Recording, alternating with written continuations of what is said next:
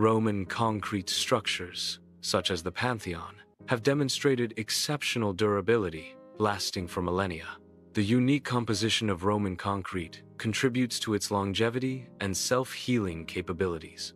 Roman concrete incorporates volcanic ash and seawater, leading to the formation of durable compounds.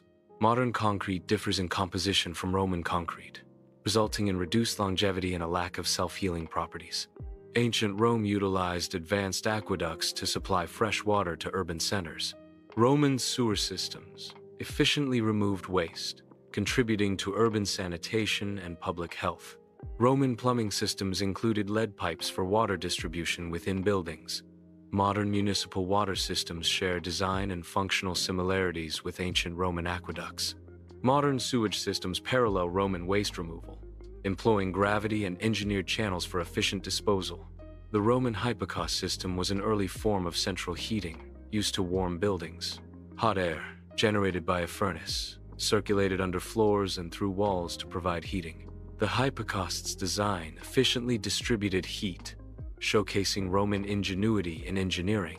This early central heating system demonstrates innovative use of space and materials for thermal comfort.